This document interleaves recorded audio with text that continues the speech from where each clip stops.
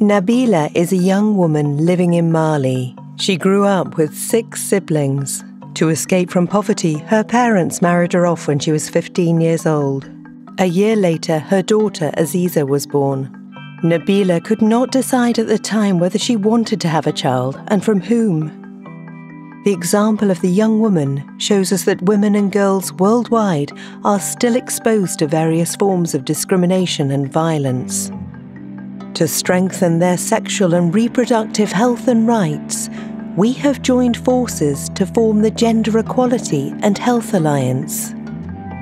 We, that is, three Swiss non governmental organisations IAMANEH Switzerland, Médecins du Monde Suisse, and Women's Hope International. We are active in 19 partner countries in a variety of areas. One of our key objectives is to reduce high maternal and child mortality rates and to reduce teenage pregnancies, as in the case of Nabila. Millions of girls around the world feel the same way. In some countries, one in six girls becomes a mother at the age of 17 or younger. The root causes are complex. That is why we are pursuing various approaches here, as in our other working areas.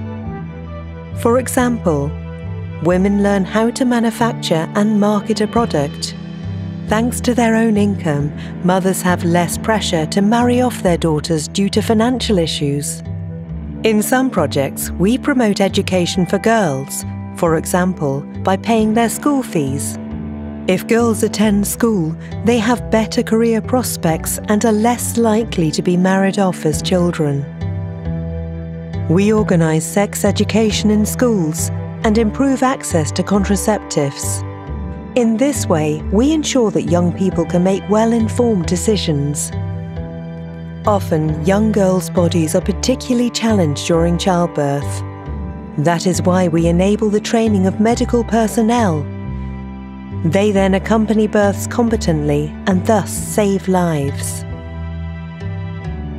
We develop all our solutions in partnership with local communities we are convinced that local people know best what they need and how to get there.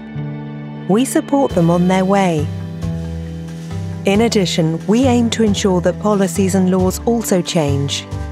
It will enable us to improve the rights and health of girls and women in the long term. This will bring us one step closer to our vision of a gender equal world, a world free of discrimination and violence.